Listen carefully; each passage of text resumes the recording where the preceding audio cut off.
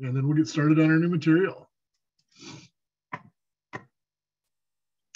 So this week is when we move from the descriptive statistics describing data into actually trying to make conclusions about a population.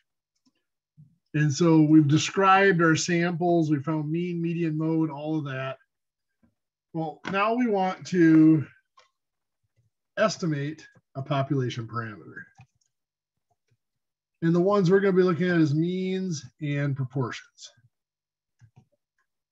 Um, we can estimate standard deviations and variances, but those get to be more complex um, problems, and that'd be for a much longer, or more in-depth course than this one. Strategies, um, one of the ways that we do this is something called a point estimate. And a point estimate is just to randomly select a sample from the population, calculate the sample statistic, whether that is a mean or a proportion, and then claim that the population parameter is approximately equal to that sample statistic. So we're, we're, we take the sample, we get that one sample statistic, that one point, that one number, and we use that as our estimate of the population parameter. That's why it's called a point estimate. We're estimating it with a single point. But we've learned over the last couple of weeks about something called a sampling distribution. And sampling distributions are for the population mean or the population proportion.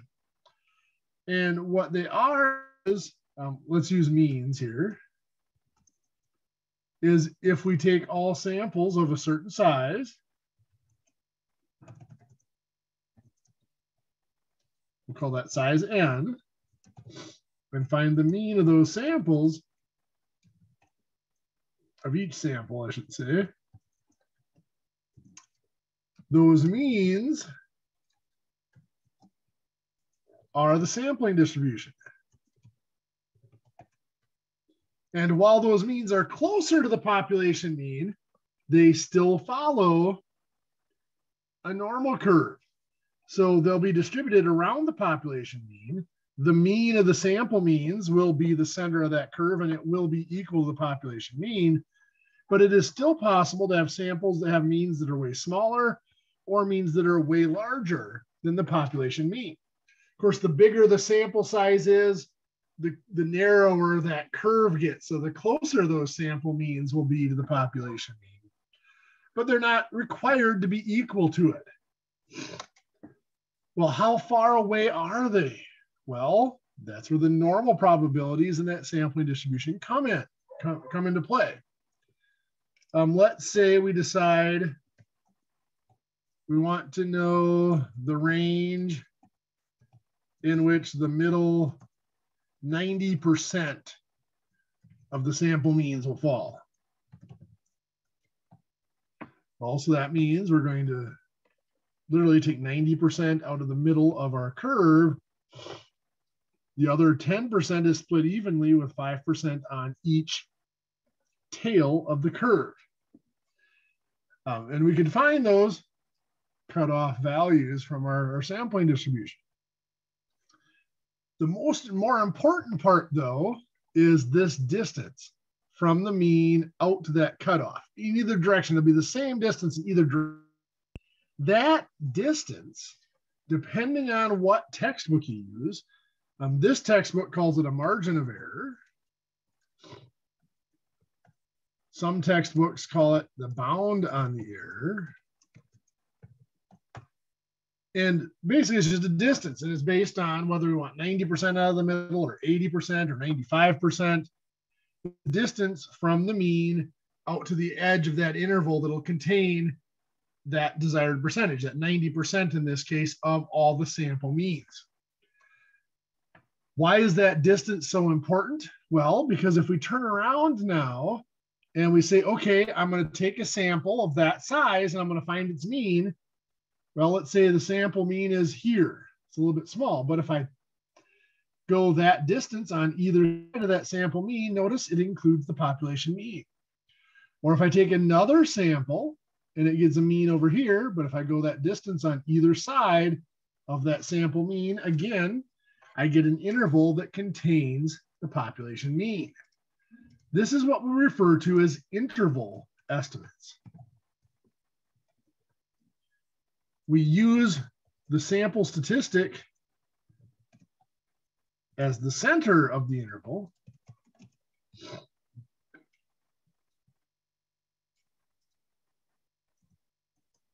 Then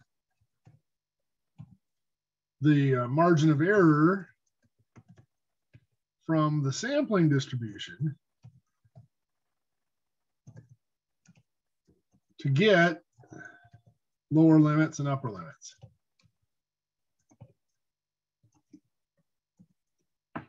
Well, let's look at how this works. Let's look at an interval for a population proportion first.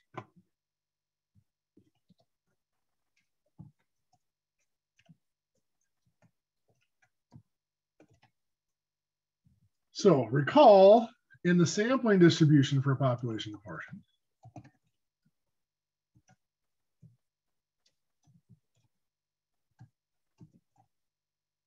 the uh, mean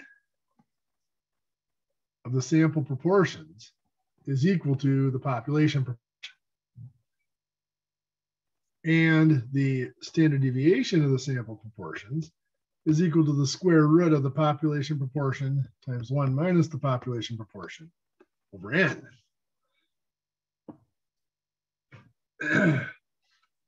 when we're looking, however, at finding our margin of error,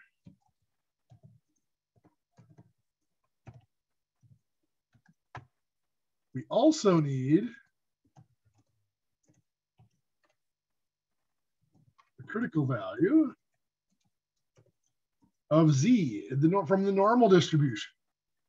All confidence intervals for a population proportion will be z intervals. How do we find that critical value of z? Actually, there's going to be two critical values, but they'll be the same, one positive and one negative. Well, it comes from the level of confidence. And this is something that has to be given in the problem. We have to be told what level of confidence we're going to be working with.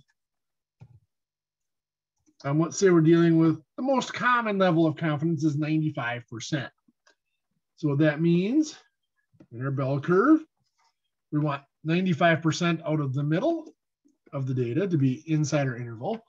We're leaving 5% outside, and that 5% is split evenly to 2.5% on either tail, the lower tail and the upper tail.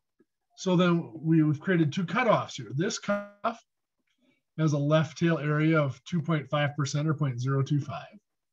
This cutoff has a left tail area, if we add that up, of 97.5% or 0.975 probability.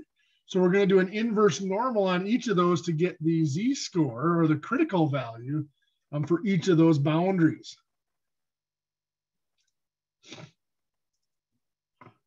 So um, we're going to do second distribution, inverse normal, 0.025 is our probability. Oops, 0.25. And we're doing z-score, so it's a mean of zero, standard deviation of one, so it's a standard normal distribution. And we get a negative 1.96 if we round that to three decimal places, um, negative 1.60.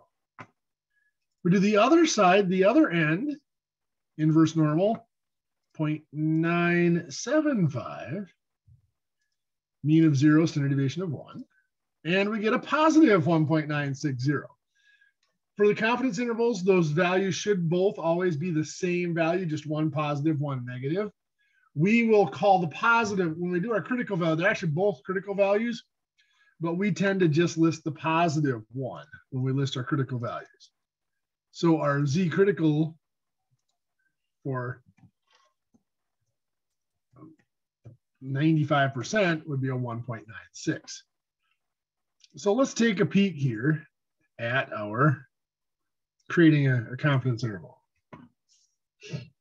First of all, for proportions, there are some requirements. We must have n times p must be at least 10. n times 1 minus p must also be at least 10. What does this mean? Well, this means we have to have a sufficient sample size.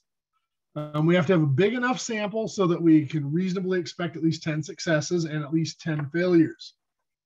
Um, if we're flipping a coin, you got half and half, or if you have coins sitting on the table, you know, how many are heads, how many are tails. Well, if there's just two coins and there's one heads and one tail, that, that's not enough. That you got to have at least, you know, two coins would just be a, a sample size of n equals two. You've got to have a large enough sample to have at least reasonably expect 10 failures and, and 10 successes. And of course, the sample is selected randomly from the population of interest. I won't state that third requirement anymore, but um, that is a requirement of all of these confidence intervals is that the sample is selected, randomly selected from the population of interest. So let's look at our example here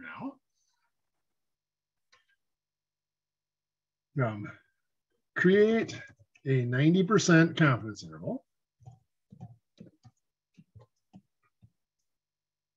for a random sample of 240 students who's 187 passed their first college math class on the first try. So 90%, 240, uh, 187 out of 240 is our sample result. We need our Z critical. Well, 90% would be 90% out of the middle. That 10% is split to each side, so it'd be 5% and 5%. So we can do an inverse normal on the 5%. We're going to get a negative value, but remember, we'll use it as positive. Inverse, second distribution, inverse normal, 0.05. It'll give us a negative 1.645. So our z critical is 1.645. Our margin of error bound on the error, I'm to label ME for margin of error, is the z critical times the standard error. Now remember for um, distribution of proportions, that standard error is the square root of p times 1 minus p divided by n. So here, that margin of error, or b z critical of 1.645, times the square root of, now we have a sample proportion here. We can use that. So 187 divided by 240.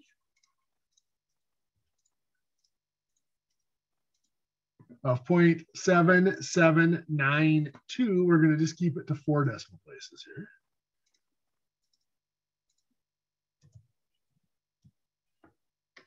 And then times 1 minus 0.7792.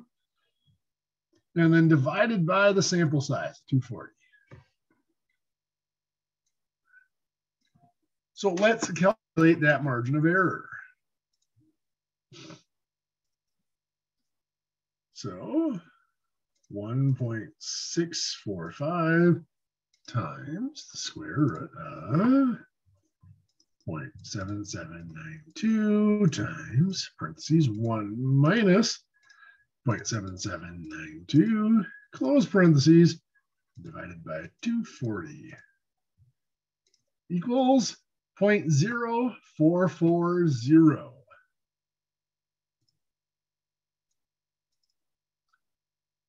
So that's our margin of error, 0.0440. So now our interval, now remember what we calculated up here was the point estimate. Oh, I'll type it. The 187 divided by 240 gives the point uh, 7792 was the point estimate. Our interval then will be that point estimate minus the margin of error to that point estimate plus the margin of error.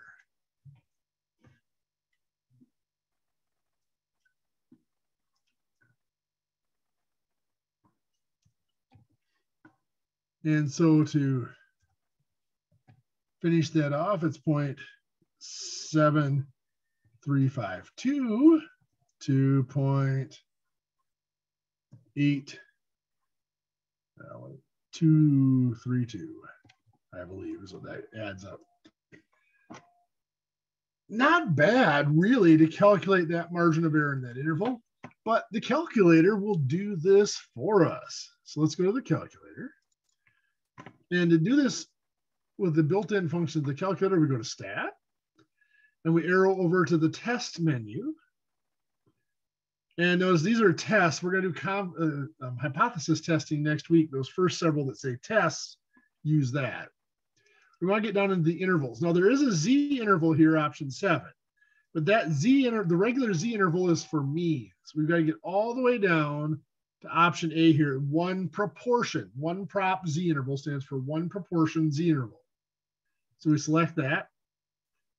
X is our number of successes. That was the 187. N was our sample size. That was the 240. Our confidence level here is 90%, so 0.9. Calculate. And there we go, 0.73512 to 0.82 321. Um, that is basically what we had before.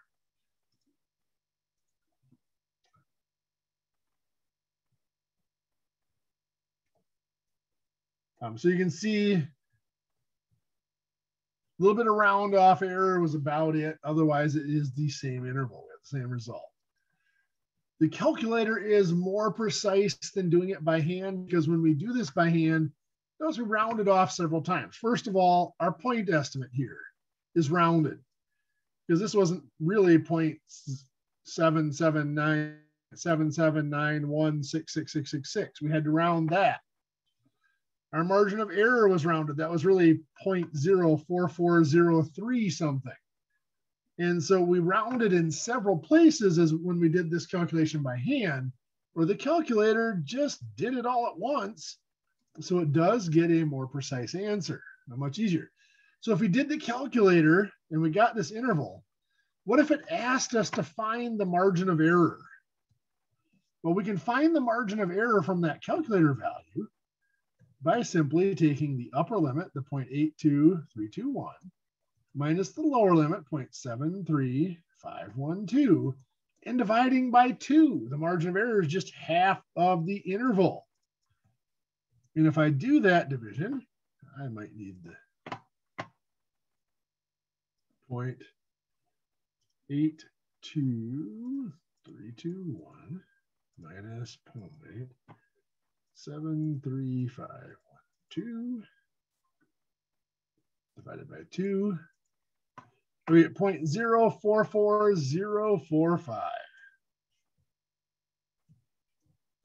So you can see um,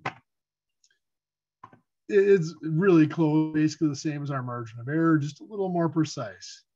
Um, again, because they didn't have all the round offs at different steps through that calculation. When we're working through, um, as we said, there, there, there are tables and there are stuff, but it generally is more precise to use the calculator and use the built-in function than it is to try to do these by hand. Well, let's look at intervals for population means.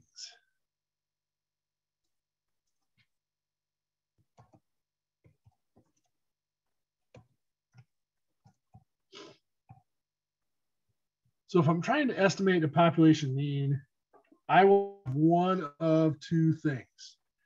If I know the population standard deviation.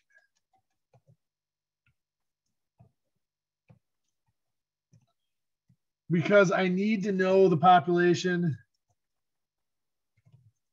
the, the uh, standard error of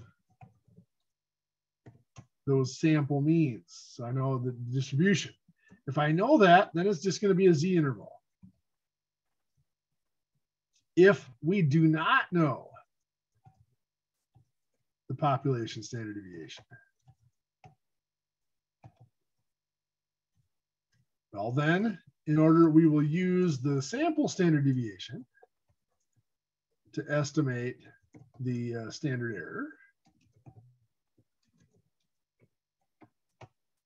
And we'll use a t distribution. It's sometimes referred to as the student t distribution. It's a different probability distribution. Um, it's still a bell curve and it's still symmetrical, just like the normal curve, but the curve, the, the size of the curve depends on the size of the sample, something called degrees of freedom.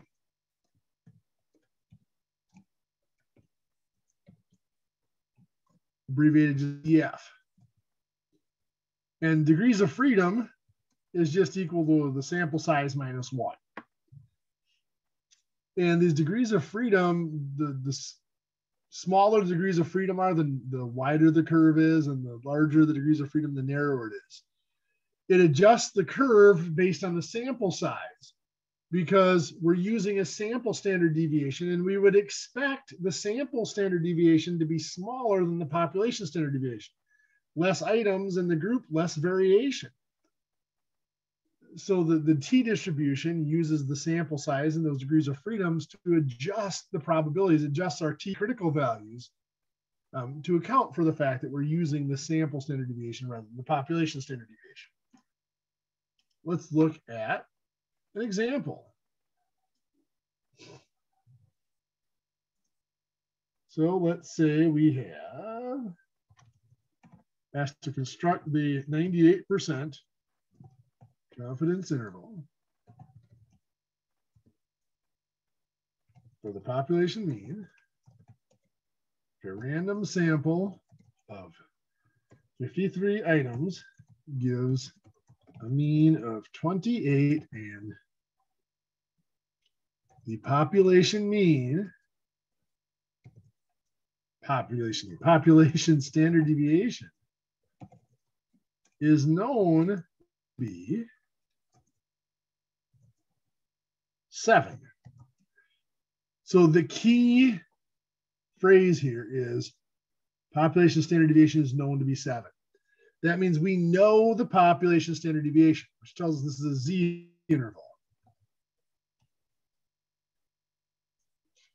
The wording can be a little subtle here. I mean, I came out and said it's known that the population standard deviation is this. Um, but if we don't have the population standard deviation, a lot of times it just says, hey, a sample gives this mean and this standard deviation. Well, you got to read into that. The sample is giving the standard deviation, therefore, we don't know the population standard deviation.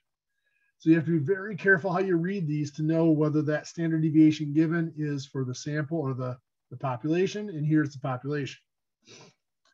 So 98%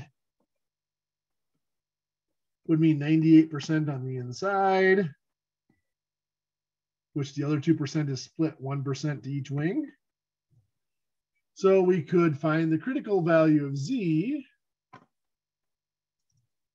by doing second distribution over z 0.01 and get that inverse normal of negative 2.326 or just 2.326. So our z critical is 2.326. So our margin of error is 2.326 times the standard error, which is the population standard deviation divided by the square root of the sample size. So that will give, if we calculate that out, 2.326 times 7 divided by the square root of 53. of 2.237. So 7 divided by the square root of 53 is almost 1. So it's a little bit, it's not always going to be that our margin of error is that close to the z critical. Um, it's just a coincidence because our standard deviation and our square root of our sample size are close to the same. So 2.237 is our margin of error.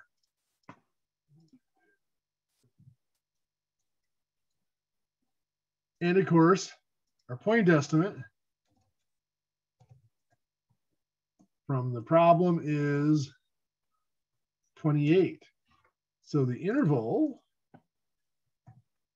will be from 28 minus 2.237 to 28 plus 2.237, which is an interval of 25.763 to 30.237. There's our, our interval. Again, the calculator does this wonderfully. Let's see what the calculator would do with this. So again, we're going to go to stat and we're going to go over to the test menu. And this is just a Z interval, option number seven. So I'm just gonna hit seven so I don't have to arrow down to it. Now we are not using data. If I actually had the whole, the list of all of the results in our sample, all the data values in the sample, I'd use data. We don't have that, so we're gonna use stats. All we have are the summary statistics from our sample. The mean of our sample was, uh, where's that? It was 28. I'm sorry, the standard deviation, that's not the mean, that's the standard deviation of our population was seven, that's sigma. X bar is the mean of our sample, that was 28. Our sample size was 53. And our confidence level was 98%, so 0.98. And we calculate. And there we the exact interval that we had calculating it by hand. Um, because you know the the means are generally working with larger numbers than proportions, um, the round off errors are not quite as significant. So that is when we do know the population standard deviation. What about if we do not know the population standard deviation? So our example here.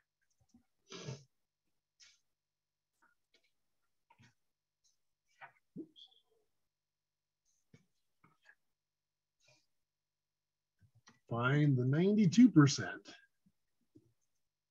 Normally 90 and 95% are the most common. 99% is sometimes used. I'm using some odd ones here just so we don't fall into the complacency of having common um, critical values that we just have memorized. It forces us to look them up.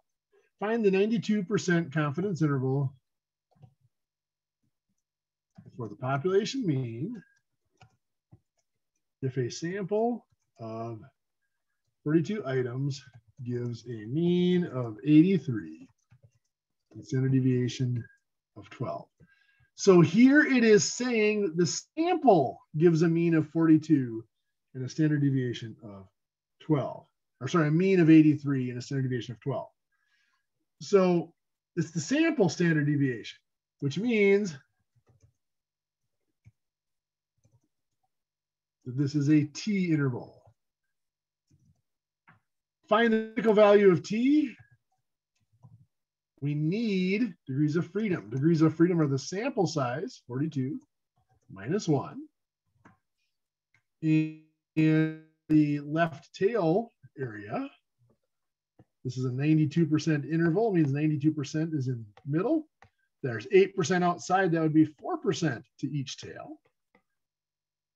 So let's find the T critical. So second distribution, inverse T is what we would use, the 0.04. And our degrees of freedom, 42 is our sample size, so minus one is 41 degrees of freedom. Giving us a negative 1.795. So 1.795 is our critical value of T.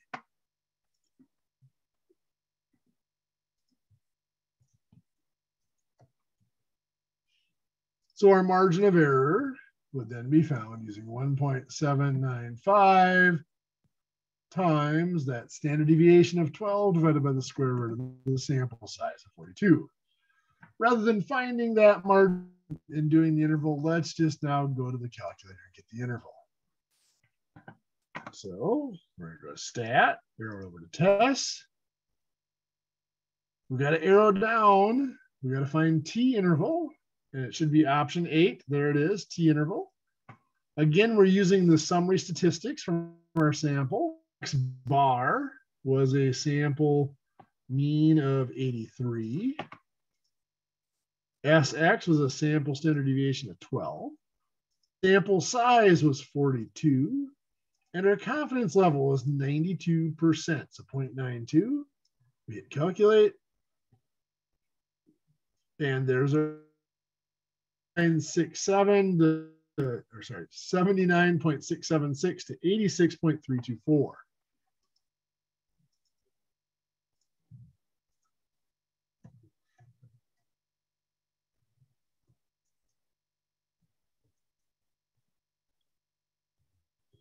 Now, if we wanted our margin of error, we would again, we could find that by simply finding the range and dividing by two.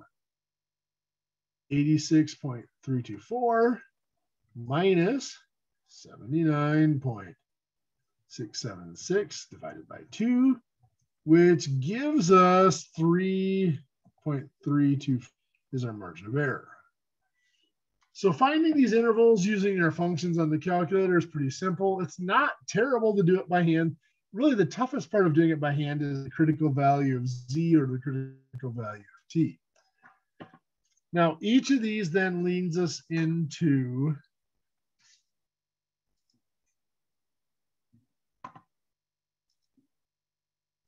required sample size calculation.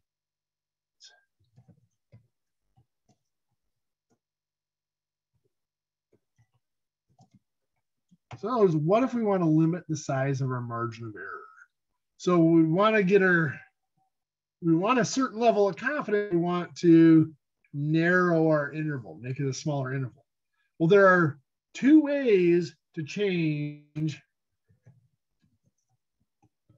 the size of an interval. To make the interval smaller,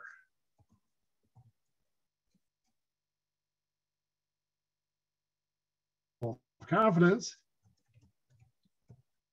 or choose a larger sample size. Now there's a third factor, but we can't control the standard deviation. So we don't worry about how that affects. The standard deviation gets bigger, the margin of error gets bigger. Standard deviation gets smaller, the margin of error gets smaller. But we can't change that. We can change the confidence level we use and we can change the size of our sample. Well, if we want, there's a certain level of confidence that we want, like in medical studies or in some cases, the, the level of confidence required is given to us by either industrial standards or requested by an outside party. Um, so the only thing then that we can change is the sample size. Sample size required to limit the margin of error.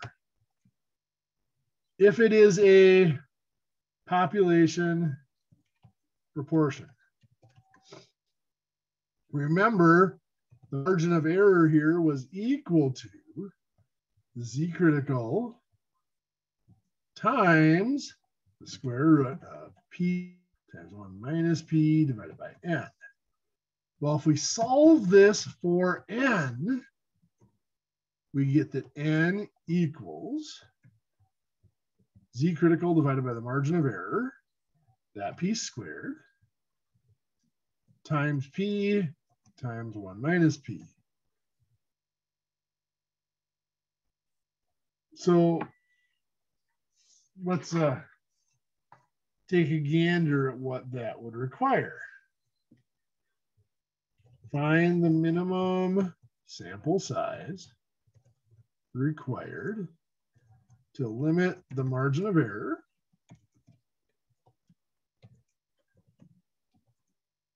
for a population portion of a 95% confidence interval to be within margin of error to be no more than 3% or 0.03. Well, looking at this, you might realize, well, there's we need the value of p. Well, no, we don't have an estimate of p. Then we use p equals 0.5. p equals 0.5 is what we call worst case scenario. That'll give us the largest sample size. So our sample size equals um, Z critical for 95% is 1.960. So 1.96 divided by 0.03, and then that'll be squared, times 0.5 times 1 minus 0.5. Now let's go to the calculator and see what that gives us.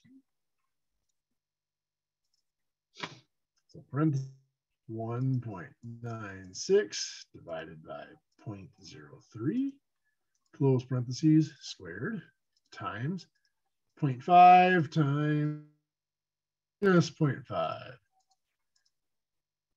gives us 1067.1.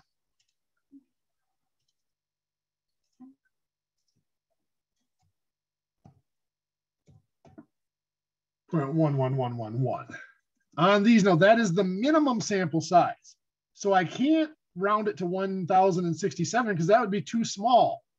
So we always round up.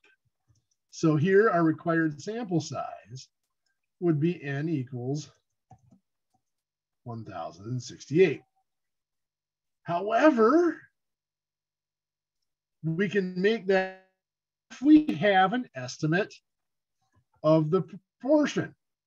So let's say we have an estimate of P of P equals 0.35. Now that changes things now. Now it'd be N equals 1.96 divided by 0.03 squared times 0.35 times 1 minus 0.35. And let's go to that one in and see how that works out differently. So parentheses 1.96 divided by 0.03, close parentheses, squared, times 0.35 times 1, 1 minus 0.35. Now, realistically, if I'm doing this, I can subtract a proportion from 1 in my head. I would just put in 0.35 times 0.65, saved a few keystrokes, but we can put it in with the parentheses. So we get 90, 971.07.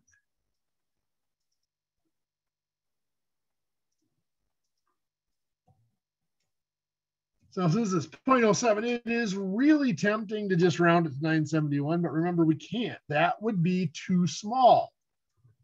971.07 minimum sample size. So we'd have to round up to 972. So you can see that by having that estimate of P, we were able to take a little bit smaller sample.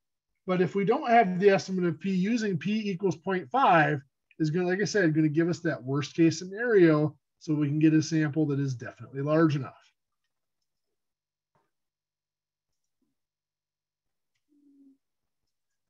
For our population mean, we have to have some sort of an estimate of the, the population standard deviation in order to make this work. If we don't have a population standard deviation there, um, there's no way to do this or some sort of standard deviation estimate. So let's find the minimum sample size required to produce a sample within our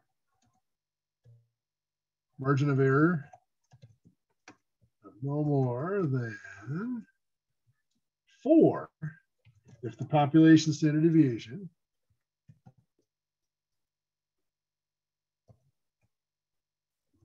is known to be nine. And we are using, actually, let's use 90% interval.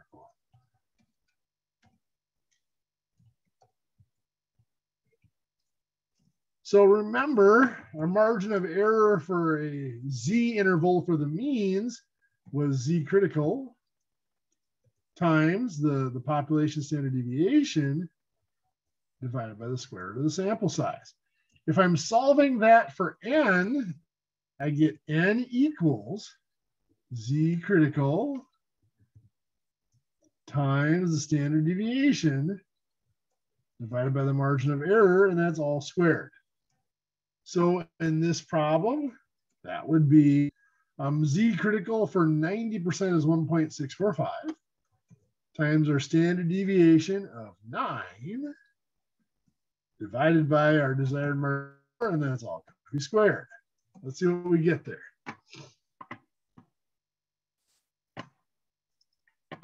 So parentheses 1.45 times standard deviation of 9 divided by our desired margin of error of 4, close parentheses, and squared. We get 13.699. 13.7 we'll go with. And of course, we round up to 14 required sample size. Um, generally with means, we usually end up with smaller sample sizes. Proportions usually end up with really large sample sizes to, to limit that margin of error. So there we go. Um, we can not only find intervals to estimate our population parameters, but then we can actually find how big of a sample do we need if we want to, to be a certain percentage confident that we are within range. Now, before we go, I want to clarify some terminology. I don't know if I mentioned this or how much I mentioned at the beginning, but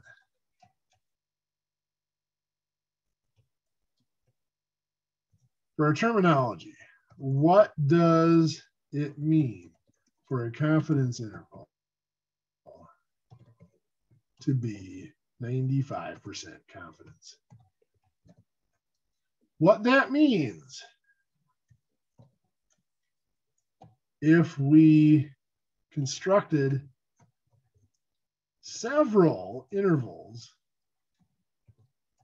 using this method, 95% of those intervals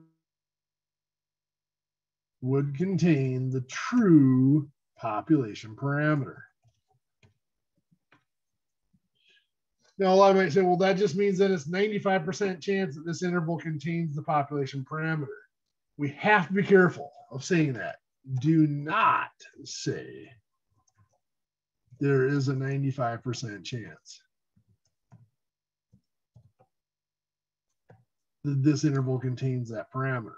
Why not? Well, because before we construct the interval, if we're constructing a 95% confidence interval, before we construct it, there will be a 95, there's a 95% probability that the interval that we're going to construct will contain the, the population mean. But once we have, remember, probability only governs future events. Once we have constructed future event anymore, it's done. So either it contains the true population mean or it does not. The probability does not apply to it anymore. So to say that there's a 95% chance that the population mean is in that interval is not true. It either is or it is not. Um, probability is not applicable. So what we say is we are 95%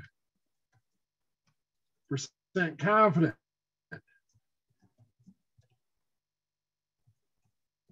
that the true population mean or true population proportion, either one, is in is in the interval or is between the values given. And so that when we're saying we're 95% confident, what we are saying is if we did this over and over again, 95% of our results would contain the means, the true population mean in the interval. I know it's a very subtle thing, but it's, it's very important. As, as you're looking at wording and selecting your your phrasing for your conclusion. Um, that is important to keep in mind. Okay, well, that is all of our material for this week. Does anybody have any questions? Nope, I'm good. I'm gonna go shoot off some fireworks now. okay, well, yeah, so it's just getting dark, so perfect timing. You guys have a great. Oh, go ahead, Ashley. I was just gonna say thank you. I'm good. okay, you're, you're welcome. You guys have a great night. Enjoy the fireworks. And if anything comes up, let me know. I'll get back to you as soon as I can. Otherwise, have a great week and hopefully we'll see you and more back here next Monday. Bye.